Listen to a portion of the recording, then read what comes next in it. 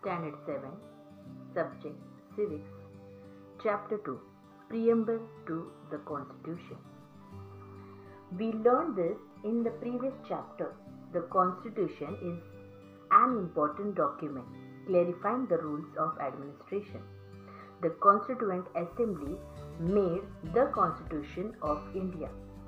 A representative have to carry out the administration as per the law laid down by the Constitution. Our Constitution is the fundamental and the highest law of land. There are definite aims or purpose in making any law. Basic provisions in the law are made after clarifying these objectives. A systematic arrangement of all the aims and objective of a law is the preface to the law. The preface to the Indian Constitution is called the preamble. The preamble sets out the objective of our constitution.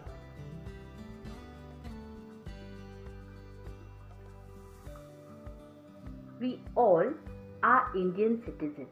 The preamble tells us what we all have to achieve as a people. The values thought and ideas in it are noble. The entire constitution lays down the provision through which these goals are to be released. The preamble begins with the word we, the people of India. It talks about the resolve of the Indians to the Constitution India into a sovereign, socialist, secular, democratic republic. We shall now understand the meaning of each of these terms. First is sovereign state. India was ruled by British for a long period. The British rule ended on 15th August 1947. Our country became independent. India became sovereign. We are now free to take decision as we think fit in our own country. The word sovereign means that a state is not under the control of a foreign power.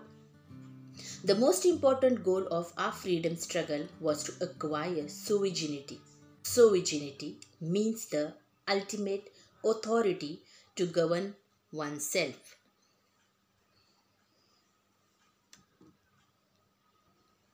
Or yourself. In a democracy, sovereignty rests with the people. The people elect their representative and grant them the permission to exercise sovereign authority on their behalf. Thus, the Constitution reflects the principle of popular sovereignty and the government elected by the people makes law on behalf of the people. Socialist state. A socialist state is such a state where a gap between the rich and the poor is minimum. All have a right over the wealth of the country. It is ensured that wealth is not concentrated in the hand of few people. Third, secular state. The preamble states secularism as one of our goals. In secular state, all religions are considered as equal. No one religion is considered to be the state religion. The citizens are free to follow their own religion. State cannot discriminate among the citizens on the basis of religion. Do you know? We have endeavored to preserve the multi religious nature of our society. We cannot exercise the rights given to us by our constitution in an unrestrained manner. The same is true of religious freedom as well. Whenever we celebrate a festival, we are required to be concerned about the public cleanliness, health, and environment. Fourth, democratic state. In a democracy, the sovereign power is in the hand of the people. Government makes decision and draws upon policy in keeping with the people's wishes. Government has to take important financial, social and other decision to promote common welfare. All the people are not able to come together and take such decision on a day-to-day basis. Therefore, elections are conducted after a fixed period. When voters elect their representatives, these representatives sit in the institutions created by the constitution like the parliament or legislature and the executive. They take decision for the entire population as per the procedure laid down by the constitution. Fifth, Republic. Along with beginning a democracy, we are a republic. All public position in in a republic are elected by the people. No public position is occupied on the basis of hereditary sessions. The position like the president, the prime minister, the government, any citizen fulfilling the prescribed age criterion can get himself herself elected to any of this position. In a monarchy, this position may be occupied by the member of a single family following the principle of heredity. Let's discuss. Read what Deepa has written on the topic My Family.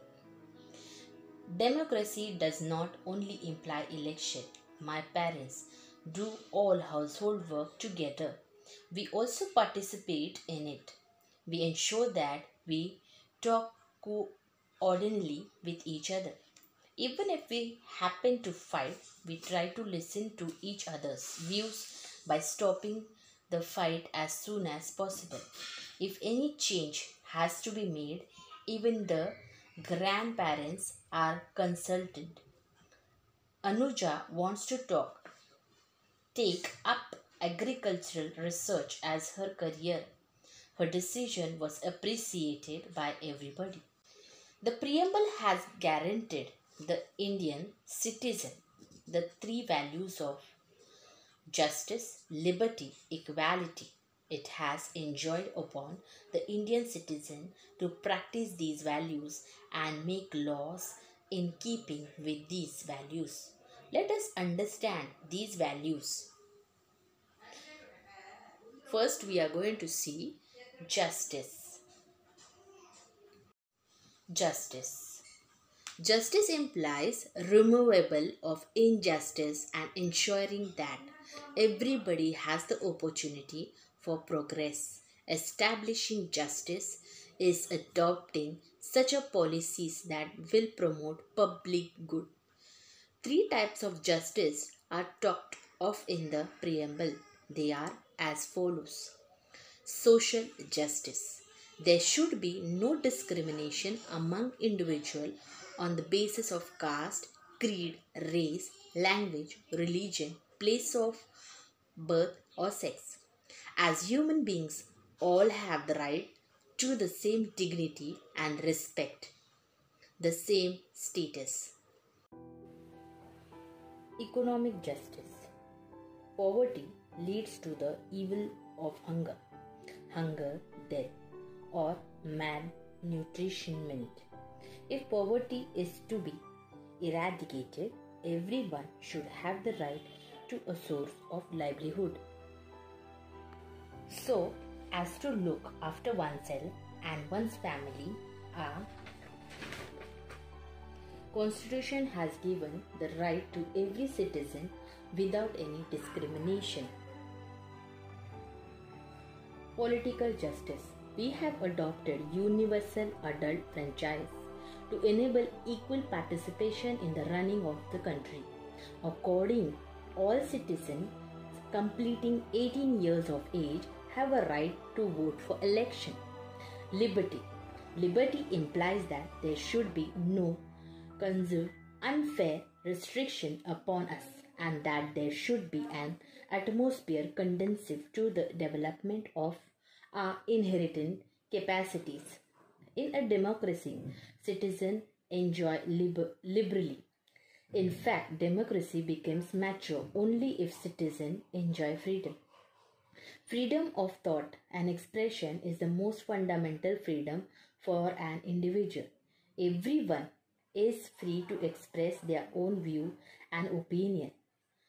A give and take of idea enhances the spirit of cooperation, unity among the similarity in also also enables to understand the various dimension of any problem. Liberty The liberty of belief, faith and worship implies religious freedom Every Indian citizen is free to act as per the teaching of their religion or the religion of their choice. It implies the freedom of celebrating the festival and the freedom of faith and worship.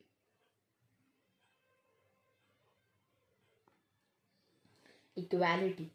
The preamble guarantees the Indian citizen an equality of status and of opportunity. It means that all have equal human status and there will be no discrimination based on caste, creed, race, sex, place of birth, etc. Guarantee of equal status means not to discriminate between people in terms of high, low, superior, inferior. The preamble has given great importance to the equality of opportunity as well. All we get the opportunity for the development without any discrimination. Discuss. Some statement regarding the freedom have given below for discussion. Express your view. By publicly celebrating our festival, we need to follow some rules that doesn't does not restrict our freedom. Freedom means behaving in a responsible way, not as per our whims and fancies. The preamble to our constitution refers to a unique ideal or principle. It is a goal of promoting fraternity among the citizen and ensure the dignity of individual. Fraternity. The makers of constitution believed that merely guaranteeing justice, freedom, equality would not lead to the establishing equality in Indian society.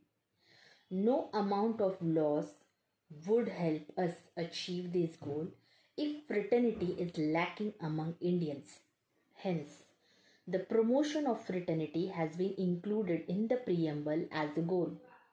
Fraternity implies a we feeling towards one another. It creates a feeling of empathy. People become more understanding towards each other, problem and needs. Fraternity is closely related to human dignity. Human dignity implies equal respect to each individual as a human being. It does not depend upon the criteria of the caste, creed, race, sex, language, etc. Just as we would like to be treated with the dignity and respect by others, we should also treat others with the same dignity and respect.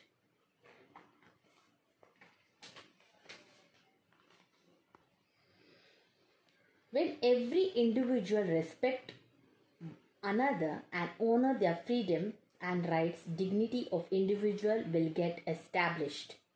In such an atmosphere, fraternity will grow automatically. The task of bringing about a new society based on the values of justice and equality will be facilitated. The preamble to the Constitution of India guides us to this very goal. The preamble ends with a mention of the fact that people of India have given the Constitution to themselves. Thank you.